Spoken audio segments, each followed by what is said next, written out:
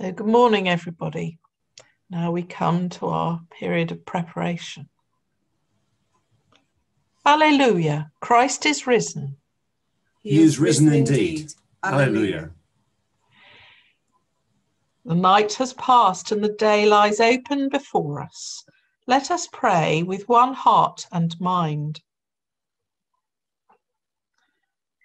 As we rejoice in the gift of this new day, so may the light of your presence, O God, set our hearts on fire with love for you now and forever. Amen. And the collect for today, the third Sunday of Lent.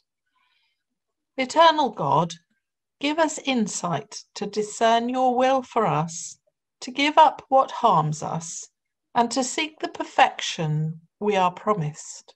In Jesus Christ our Lord. Amen. And now Gail's going to bring us our reading. Jesus cleanses the temple. The Passover of the Jews was near, and Jesus went up to Jerusalem. In the temple, he found people selling cattle, sheep, and doves, and the money changers seated at their tables. Making a whip of cords, he drove all of them out of the temple, both the sheep and the cattle. He also poured out the coins of the money changers and overturned their tables. He told those who were selling the doves, Take these things out of here. Stop making my father's house a marketplace. His disciples remembered that it was written, Zeal for your house will consume me. The Jews then said to him, What sign can you show us for doing this? Jesus answered them, Destroy this temple and in three days I will raise it up. The Jews then said, This temple has been under construction for 46 years, and you will raise it up in three days? But he was speaking of the temple of his body. After he was raised from the dead, his disciples remembered that he had said this, and they believed the scripture and the word that Jesus had spoken. And so may the words of my mouth and the thoughts of all our hearts be in the name of God, who is Father, Son, and Holy Spirit. I'm reminded by uh, today's passage, which we've heard, the film clip that James has prepared and shown us, and um, then the contrast with the Bath Abbey Choir, that the work of a sermon, as it were, happens before the occasion, one trusts during it, but actually as important in the days following. And already we've got striking, challenging images, thoughts in our minds. And so the work of a sermon is for all of us together to seek, discern what God would say to us. Possibly one of the things, one of the few things it might be that we will remember from school days and RE lessons or whatever it was called at the time. I think it changed its name about eight times while I was at school. Um, would be um, drawing a, a, a, map, drawing a, a plan of the Jerus of the temple in Jerusalem, seeing pictures of it too, possibly even having models or making them. It goes with St. Paul's journeys, learning those things that you wonder really, or on reflection, were they any relevance, helpful to have known about, but did we grasp some of the deeper points? So with the temple, its significance is apart from its design, which is actually quite significant in itself, particularly the sort of inner place that nobody really could go into. Um, but its significance is as a place of pilgrimage, perhaps a focus and even a place of unity. For with just one temple, everybody who might be able to go there is doing the same thing. You can't, so you can't compare the temple with, say, cathedrals, because we have more than one of them.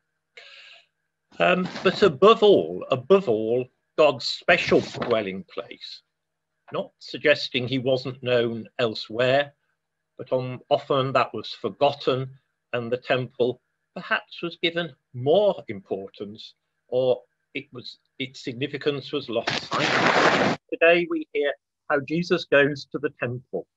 We see how he drives out those selling animals for sacrifices and the ta- and turns over the tables of the money changers. All of that going on in a corrupt way, an unfair way, an unreasonable way, and favouring those who are already comfortably off. We could go into digressions about cathedral shops, cafes, church shops, etc. That's not the key thing, perhaps, at the moment. And Jesus acts violently, as we've been reminded.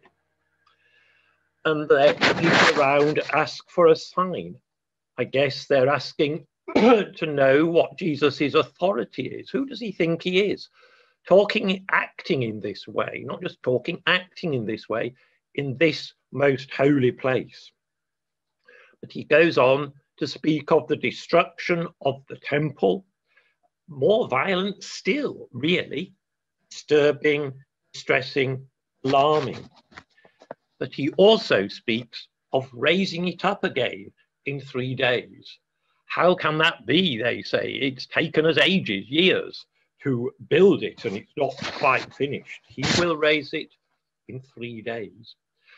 And St. John, who can be a bit difficult to follow, in today's passage seems to be particularly helpful and clear in uh, succinct ways. Jesus, uh, we're told, was speaking of the temple of his body, God's dwelling place in his own person. We call, as ever, the gospel writers do their work after the resurrection of Jesus in the earliest days of the Christian church. And in fact, apart from Mark, they did their work after the temple had been destroyed by the Romans in AD 70. And again, John tells us briefly, simply, how later on, and this must have been so often the case, later on after the resurrection, the disciples remembered his words after he was raised from the dead about the temple of his body. Only John tells us about Jesus going to the temple early on in his ministry. The other three tell us about this in the last week of Jesus' life, where an awful lot is focused on the temple, uh, not surprisingly. There's lots of ways of looking at each of the Gospels, but a key way of looking at John's Gospel is that it is a book of signs, signs showing who Jesus is, revealing his glory, the glory which is God's own glory. But he places this incident here, I think, to make clear at the outset that the whole gospel is the account of Jesus' glory, and his glory is seen in both the cross and the resurrection. They cannot be separated, they go together. The cross is no less a moment of glory than the resurrection. And that is a key message in our, have in our minds at this early stage of reading his gospel. Our church buildings haven't been destroyed. Uh, less people now who remember the war years, but particularly in some places, Coventry too, buildings in the war were destroyed. Um, and sometimes buildings are destroyed, church buildings in other ways, fire, sometimes deliberate attack. But we've had a period almost a year ago now, the hymn board in uh, Corfe, not Rectory, Corfe Vestry still says March the 15th. I feel we shall have a symbolic moment of wiping that clean when we're next singing hymns. Anyway, we've had this long period. First of all, we couldn't use our churches. Then a period, easy to forget it now, of trying to get our heads around the guidance, the regulations from the government, the church, the insurers. I think I literally had a headache for about a week and wasn't alone. Um, and there are other times when the church's life and work is hindered for all sorts of reasons. When we get things wrong, dreadfully wrong, and people are ready to condemn us, to challenge us. And sometimes, and I've always find this very challenging, there are one or two, more than one or two, if you listen closely, they actually want to hear the challenging voice, the prophetic voice, the voice and actions that we heard and saw in Jesus. Yes, clearly, lots of things to be careful about there, to discuss as clearly as happening in the Lent groups. There are people, not necessarily in the thick of church life, you might say, they would see us failing because they don't hear that prophetic voice. Um, anyway, through this time in this last year, I think we can say we've rediscovered lots of important things. It's a bit like, in part, we've been on an awfully long retreat. You probably, those who've not been on a retreat, wondered what such an experience can be like. Um, it can be both frightening, daunting, and incredibly renewing. And we've experienced some of that, all of us we've rediscovered the important things we would want to say with the words and eyes of faith. God has shown us, reminded us in this particular way, not deliberately, but He's reminded us of those important things. Each of us is to be a temple of the Holy Spirit, God's presence. St. Paul teaches us about that in particular. Together, albeit it has been in a restricted way and a limited way, but put all the ways together, we have been, are being God's temple, his dwelling place. Yes, we know we fail, we know we're flawed, we know we need more and more his forgiveness, but he is working through us nonetheless. The question has been raised by many voices within the church and around um, how many churches can we manage to reopen? That was the earlier question, perhaps change it to sustain. Uh, James I have heard that quite a bit at sort of rural deans meetings, clergy meetings, but also in the press. There are articles and letters. Some of you have taken part in that debate.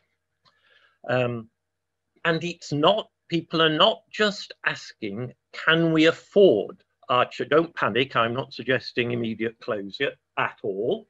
Um, uh, but people are saying, uh, not just in financial terms, can we, have we the resources? I never liked the phrase human resources, but it just seems quite appropriate here.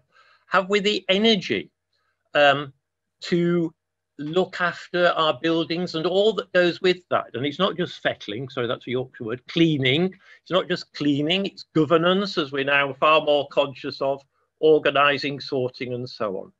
Have we the energies, or is that where our energies should be going? And as I say, the question is asked within the church, in our own benefice. It was asked quite, it was expressed forcibly, not forcibly, although clearly, um, definitely, in some of our consultations over our changes, um, the three Hills PCCs becoming one. So it's a real, real question. We were discussing and we are discussing the service pattern for this reopening and the future, trying to look at what is appropriate, what is um, sensible, etc. And someone said in our discussion on Zoom, you should pray about this. And that can seem a sort of slick, obvious, and ready answer. But actually, it's so, so important. And it's so with this question of buildings. And um, how do we pray? I guess there are as many ways of praying as there are people sharing in this service. In other words, each our, our own, discover our own way with God. And sometimes, if you like, the penny drops. God speaks to us. We see something clearly, and our imaginations come into it. And it might be the unexpected answer, and it might be something we've come to see together. So do pray about this. here particularly, I think, we're not going to, we couldn't say, oh, we just can't manage that building. Uh, so many of you will have lived in more urban areas and um, certainly where I was in the north, we most of the churches were built from the Industrial Revolution. Some, uh, sorry, at that time and thereafter. And some were very solid and well built, like I think Kingston is could be right if I if I'm wrong. Some of them were less well built and less good buildings, and actually an awful lot of closed, and they've closed with closed with far bigger con, uh, populations in parishes than we have. But perhaps this is one thing where being a visitor holiday tourist area may help. So pray, imaginations. There are a variety of ways that can make a difference. But above all, above all, we are ourselves under God's people to be his temple. Some fine church buildings, cathedrals speak most particularly. Our hope perhaps is that our lives, our life together as God's people will also speak. He will be able to speak through us. Amen. Let us pray. The sacrifice of God is a broken spirit, a broken and contrite heart God will not despise. Let us come to the Lord, who is full of compassion, and acknowledge our transgressions in penitence and faith. Most merciful God, Father of our Lord Jesus Christ, we confess that we have sinned in thought, word, and deed we have not loved you with our whole heart. We have not loved our neighbours as ourselves. In your mercy, forgive what we have been. Help us to amend what we are and direct what we shall be, that we may do justly, love mercy, and walk humbly with you, our God. Amen. May the Father of all mercies cleanse us from our sins and restore us in his image to the praise and glory of his name, through Jesus Christ our Lord. Amen. Amen.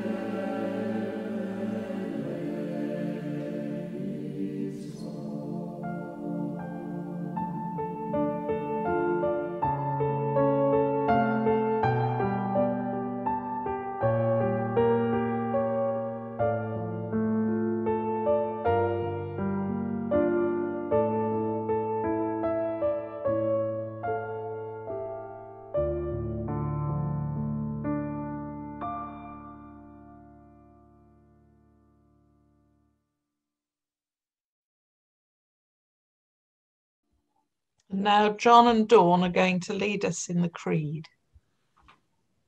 I believe in God, the Father Almighty, creator of heaven and earth. I believe in Jesus Christ, his only Son, our Lord, who was conceived by the Holy Spirit, born of the Virgin Mary, suffered under Pontius Pilate, was crucified, died, and was buried.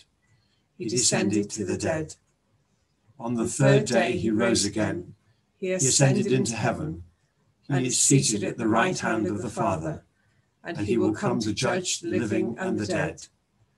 I believe in the Holy Spirit, the Holy Catholic Church, the communion of saints, the forgiveness of sins, the resurrection of the body, and the life everlasting. Amen. And now Chris is going to bring us our intercession.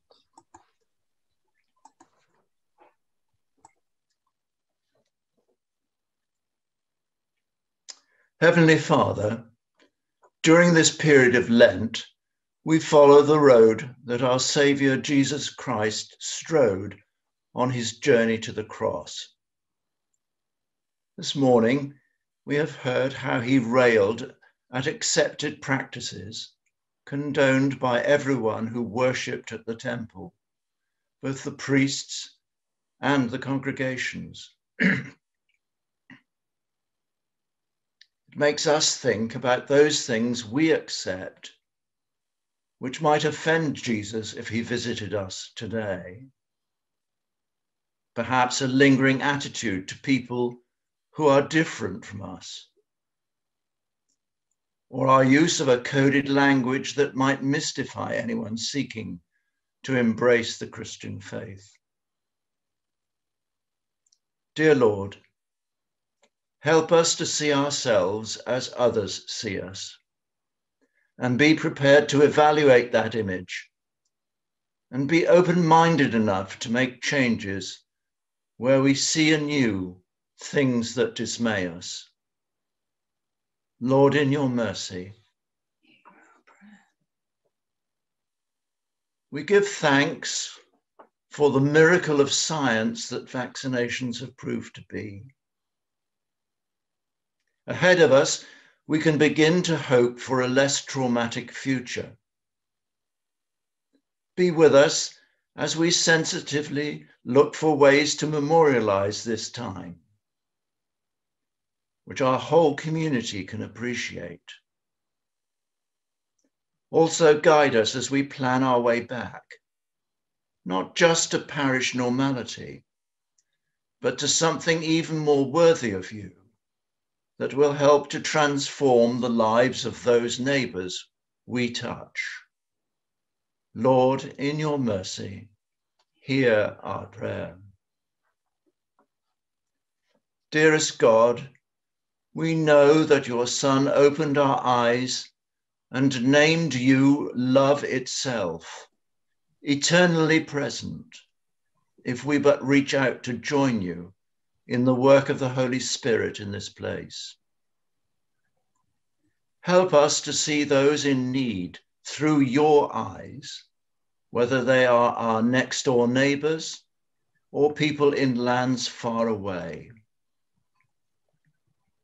In this time of Lent, help us to pinpoint people who need our help and with gratitude in our hearts for the precious gift that we have or are about to receive, give generously to help those who are behind us in the queue. Lord, in your mercy, hear our prayer. Help us not to take for granted all those who have continued to serve us during this time of trial.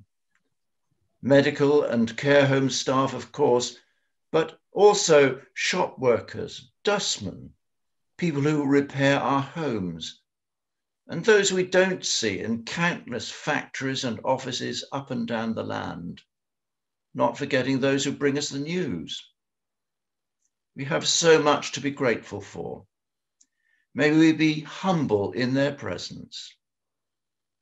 This coming week, children will return to school, and we ask you to protect them and their hardworking teachers. We think especially of our own schools here in Corfe and Langton. Lord, in your mercy, hear our prayer.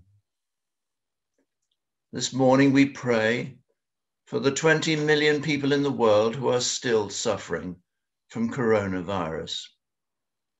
May they be cared for in the best possible way. In a moment of silence, let us pray for those we know who are unwell or are awaiting results of tests. And let us add our thanks for the successful operation the Duke of Edinburgh has received. We now wish him a speedy recovery.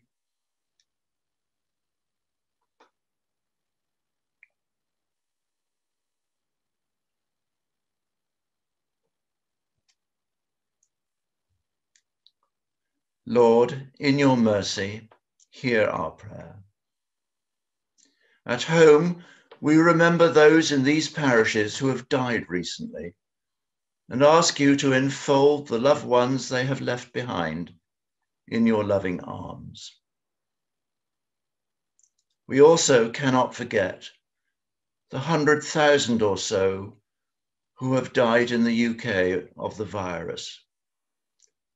Sadly, we have become so used to hearing the numbers that the heart piercing horror we once felt has disappeared, which may make us blase to the perils that still lurk wherever people meet. As we become aware of the new surge of the disease in parts of Europe, help us not to repeat our own mistakes of the summer when the shops and pubs open later this year. Through caring diligence, may ways be found to reach those isolated by culture, poverty, language, or misinformation, who are in danger of being left out from the protective help that is at hand. Merciful Father, accept these prayers for the sake of your Son, our Saviour, Jesus Christ. Amen. And so, gathering our prayers and praises into one, as our Saviour taught us, so we pray. Our Father, who art in heaven, hallowed be thy name. Thy kingdom come, thy will be done, on earth as it is in heaven. Give us this day our daily bread, and forgive us our trespasses, as we forgive those who trespass against us. And lead us not into temptation, but deliver us from evil. For thine is the kingdom, the power, and the glory, for ever and ever. Amen. This is the good news. The grave is empty. Christ is risen. Alleluia. This is the good news.